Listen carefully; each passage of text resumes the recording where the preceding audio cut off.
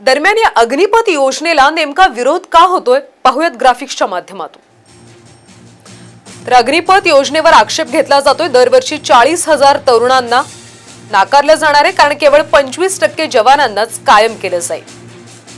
त्यामुळे याला विरोध केला जातो शस्त्रास्त्रांचं प्रशिक्षण असलेले चाळीस हजार नाराज तरुण समाजासाठी घातक ठरू शकतात.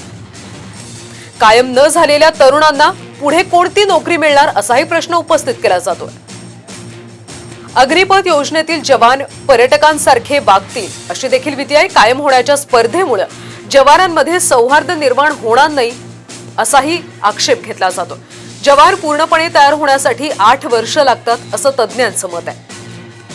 केवळ सहा महिन्यांचं प्रशिक्षण पुरेसं नाही असं सुद्धा म्हटलं जातं कॅन्टॉन्मेंटमध्ये तात्पुरते आणि कायमस्वरूपी असे दोन गट तयार होतील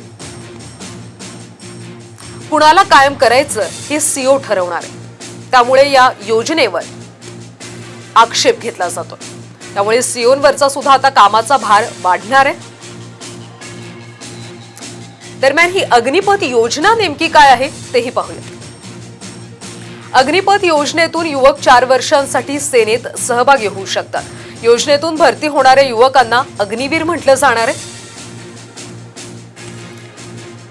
साडेसतरा ते एकवीस वर्ष वयोगटातल्या तरुणांना ही संधी मिळेल. दहावी बारावीचे विद्यार्थी अर्ज करू शकतील. चार वर्षानंतर ऐंशी टक्के सैनिकांना ड्युटीतून मुक्त केलं जाणार आहे. तर पुढील रोजगाराच्या संधींसाठी सशस्त्र दलाकडून मदतही केली जाईल. चार वर्षांनी नोकरी सोडल्यानंतर तरुणांना सेवा निधी पॅकेज मिळणार आहे.